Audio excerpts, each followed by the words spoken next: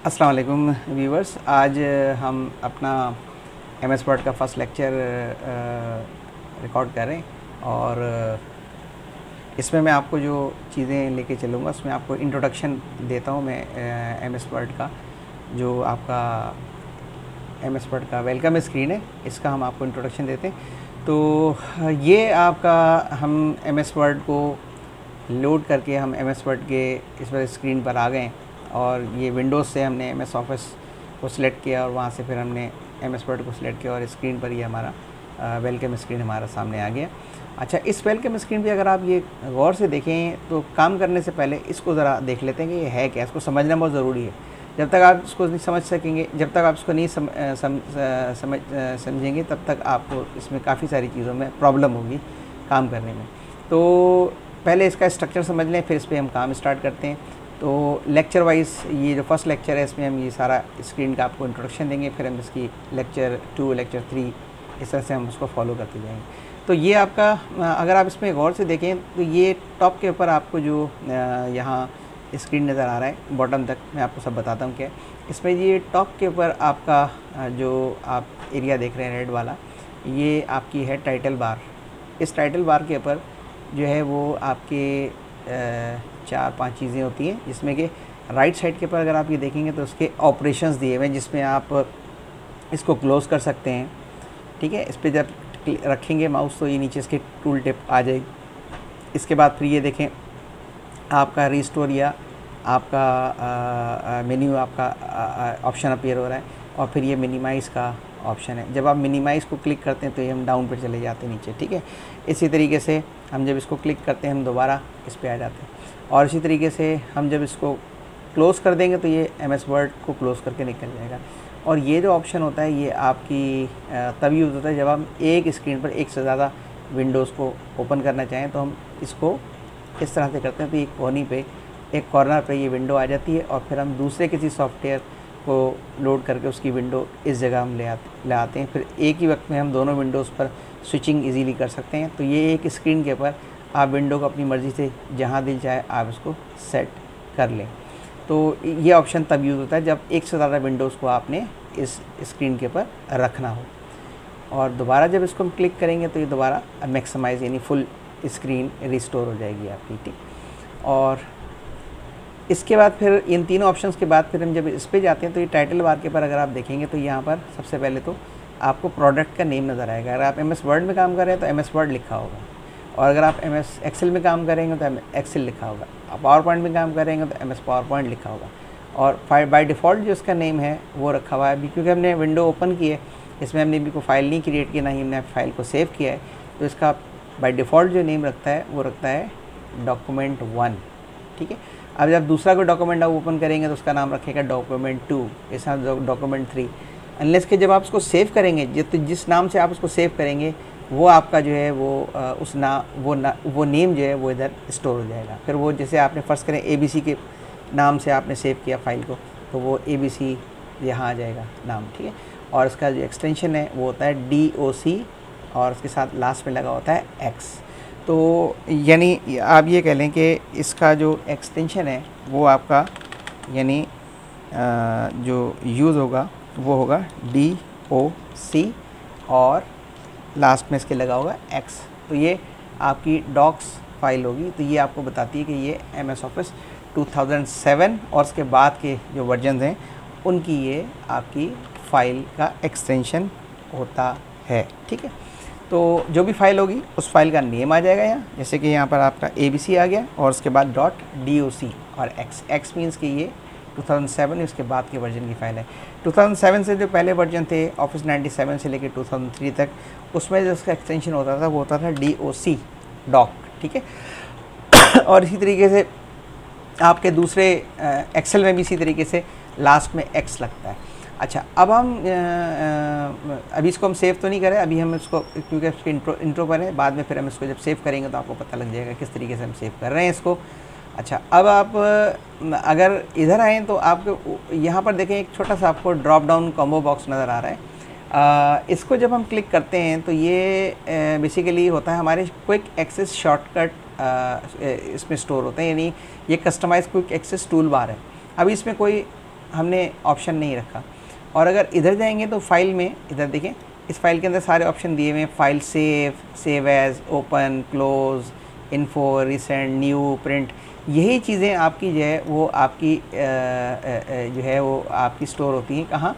इस आपके quick customize quick access toolbar में इसको आप क्लिक करेंगे तो यहाँ देखेंगे, ये सारी वो कमांड जो अभी हमने फ़ाइल में देखी थी न्यू ओपन इनके शॉर्टकट्स आप यहाँ सेट कर लेते हैं। तो शॉर्टकट सेट करने के लिए मैंने सारे रिसेट कर दिए थे। अब शॉर्टकट सेट करने के लिए आप इनमें से ये सारी कमांड्स आप एज ए शॉर्टकट सेट कर सकते हैं। कितनी कमांड्स में? One two three four five six seven eight nine और टेन ठीक है? और ये एलेवन आपकी कमांड है। फिर बाकी आपके और दूसरे ऑप्शन हैं।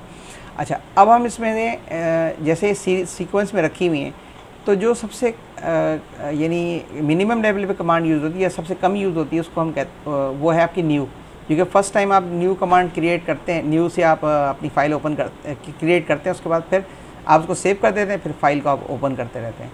ओपन करेंगे दूसरे दिन आगे, फिर आप उसको सेव कर लेंगे, फिर दूसरे दिन ओपन करेंगे, फिर सेव कर लेंगे. ओपन और सेव तो आपकी कमांड काफ़ी दफ़ा यूज़ होंगी.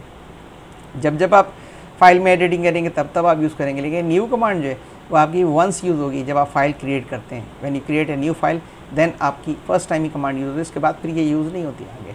फिर उसके बाद जो है वो आप बाकी के सारे ऑप्शन इसमें यूज़ करते हैं। तो सबसे पहले हम वो कमांड इसमें सेट में सेटिंग में जब रखते हैं आप तो सबसे पहले वो कमांड आप इसमें रख देते हैं, जिसका जो सबसे जो सबसे कम यूज़ होती है। लेट से कि न्यू है। मैंने न्यू को सिलेक्ट किया था कि न्यू शॉर्टकट में ऐड हो गई। फिर इसके बाद मैंने इसको ओपन फिर ओपन के बाद फिर सेव ये सीक्वेंस इसकी वैसे ही दी हुई है। इन्होंने ताकि आप इसको आराम से इसी को क्लिक करके अपना शॉर्टकट ऑर्गेनाइज कर लें। इसका फ़ायदा ये होता है कि आपको फिर फ़ाइल के मेन्यू में जाने की ज़रूरत नहीं पड़ती, बल्कि इसी आप टाइटल बार के ऊपर आप इस इन ऑप्शंस को डायरेक्टली यूज़ कर लेते हैं। जैसे कि आप के स्विच के, आपके घर में जो इलेक्ट्रिसिटी के स्विच होते हैं, उसमें वो लगे होते हैं ताकि आप आराम से चीज़ों को कंट्रोल कर लेते हैं, फ़ैन को कंट्रोल कर लेते हैं, लाइट को कंट्रोल कर लेते हैं। एक जगह पर सारे आपके और जो बटन्स हैं, स्विचेस हैं, वो लगे होते हैं। ये स्विचिंग से आप इसको ऑन कर रहे हैं सारे। अब इसको आप खोलें।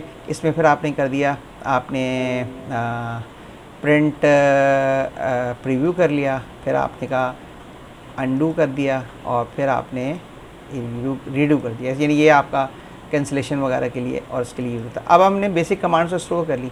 अब हमें इन कमांड्स को हम इजीली डायरेक्ट जब भी हम फ़ाइल को सेव करना चाहेंगे तो हमें फ़ाइल में जा कर के सेव को प्रेस करने की ज़रूरत नहीं है बल्कि हम सिंपली क्या करेंगे? अब अपने टाइटल बार पर ही इस इसको डायरेक्ट क्लिक करेंगे तो ये फ़ाइल सेव मोड में आ जाएगी। ठीक है अभी हम इस फ़ाइल को आ, किसी नाम से सेव कर लेते हैं। लेट से कि हम इसको बल्कि अभी फ़ाइल में हमने कुछ लिखा नहीं तो फ़िलहाल अभी इसको छोड़ते हैं फिर बाद में इसको सेव कर लेंगे। फिर आप आगे आइए। अब देखें ये कब ये जो चीज़ें हैं ये सारी आपकी यहाँ से एक्सेस होंगी। ठीक है अब इसके अलावा भी इसमें और कमांड्स हैं। मतलब कैसे कमांड्स हैं? जैसे मोर कमांड्स मीन्स यहाँ आप जाएँगे मोर कमांड्स। तो मोर कमांड्स में जब आप जाके क्लिक करेंगे तो मोर कमांड में बहुत सारी कमांड्स आपकी आ जाएँगी जो अभी इसमें इस मेन्यू में नहीं थी। ये सारी वो कमांड्स हैं जो आप एम एस वर्ड में यूज़ करते हैं ठीक है? तो इनको आप इजीली अपने पास इस टूल बार इस अपने क्विक एक्सेस टूल बार में आप स्टोर कर सकते हैं ठीक है? अब इसमें जैसे कि हम ले लेते हैं इसमें कोई कमांड ऐसी लेते हैं जो हम आ, हमें जिसके लिए कहीं जाना पड़ता है। जैसे कि हम ये कहते हैं कि जी हम इसमें एक कमांड स्टोर करते हैं। आपकी कौन सी? हम स्टोर कर लेते हैं इसमें। नीचे आइए और आप पेज सेटअप की कमांड तो पेज सेटअप की कमांड को मैंने क्लिक किया तो और उसको जाके ऐड कर देंगे। तो ये यहाँ पर देखें ऐड हो गई। इसी तरीके से हम इसमें कोई दूसरी, एक और कोई ऐसी कमांड ले लेते हैं जो ज़रा टिपिकल कमांड है। अच्छा अब ये जो आपका पेज सेटअप की कमांड है, इसको मैंने स्टोर कर लिया। एक्चुअली ये है कहाँ? इसको हम क्यों रख रहे हैं? अभी हम इसको क्या करते हैं? ओके okay करके अपना मेन्यू सेट कर देते हैं। ये देखें, पेज सेटअप की कमांड यहाँ आ गई। अगर ये पेज सेटअप की कमांड यहाँ नहीं होती तो फिर हम कहाँ जाते इसको जाने के लिए हम पेज लेआउट में जाते हैं। पेज लेआउट में जाके हम पेज सेटअप को, ये देखें पेज सेटअप इसको जाके हम क्लिक करते तो ये पेज सेटअप खुल जाता।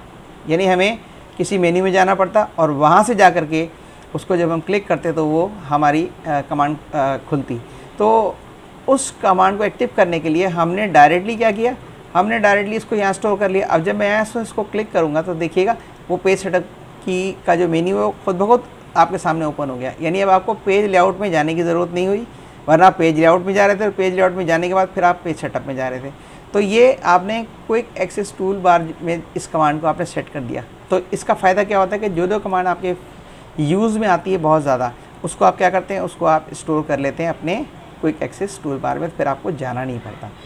इसी तरीके से आप देखें हम इसके लिए जाते हैं किसमें आपके स्पेल चेक के लिए हम रिव्यू में जाते हैं रिव्यू में जाने के बाद ये रहा स्पेल चेक यानी एफ़ सेवन से हम स्पेल चेक या इसको हम क्लिक करते हैं तो हमें पहले रिव्यू में जाना पड़ता है, फिर हम स्पेल पे आते हैं। तो अब हमें फ़ायदा क्या होगा? हमें फ़ायदा ये है कि यहाँ से इसको क्लिक करें और स्पेल चेक को हमने देखें स्टोर कर लिया तो स्पेल चेक हमारे पास डायरेक्ट यहाँ गया। अब हम स्पेल चेक को हम यहाँ से डायरेक्ट एग्जीक्यूट कर सकते हैं।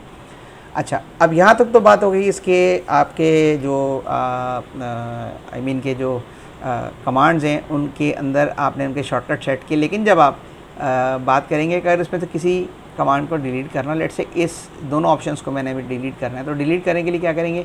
आप इधर ही जाएँगे मोर कमांड में जाएँगे। अब मोर कमांड्स के में ये कमांड का जो एरिया है, इसमें तो सारी कमांड्स रखी हुई हैं। अब यहाँ से आप सिलेक्ट करते जाएँगे, वो इस विंडो में जाती जाएँगी ऐड होती जाएँगी।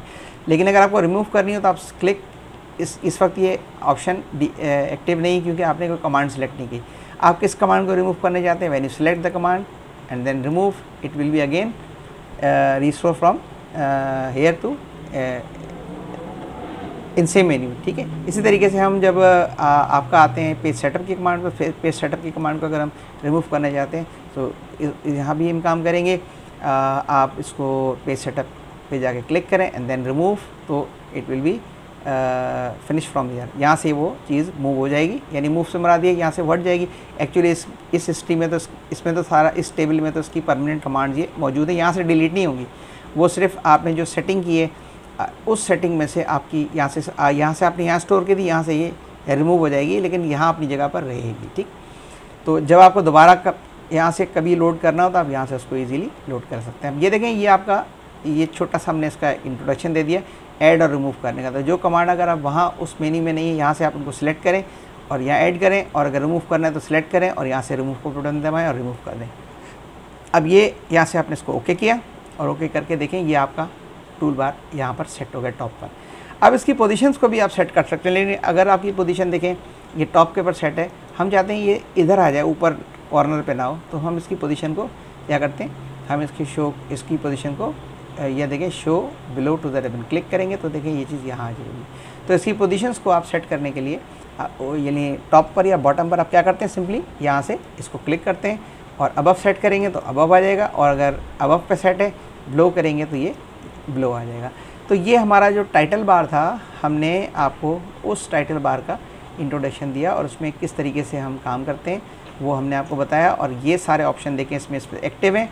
अगर किसी ऑप्शन को भी हम डीएक्टिव करना चाहेंगे, उसको सिर्फ़ जस्ट वन क्लिक करेंगे तो अनचेक हो जाएगा और फिर वो यहाँ से रिमूव हो जाएगा। दोबारा अगर सेट करना हो तो आप उसको दोबारा भी ला सकते हैं और अगर मज़ीद आपको कमांड मोर कमांड में चाहिए तो मोर कमांड दोबारा भी आप एक्टिव कर सकते हैं और यहाँ से आप जिस कमांड को चाहें, आप स्टोर कर सकते हैं अपने इस शॉर्टकट मेन्यू में जो कि कस्टमाइज एक्सेस टूल बार कहलाता है इसमें आप इसको रख सकते हैं। तो यहाँ जो है हमने आपको जो इंट्रोडक्शन दिया है वो आपको इंट्रोडक्शन दिया है सिर्फ़ और सिर्फ़ आपको एम एस वर्ड के जो वेलकम स्क्रीन है इसका जो टाइटल बार है हम इसकी हमने आ, आ, इसका आपको पूरा इंट्रोडक्शन दिया है और इसकी आपको डिटेल बताई है।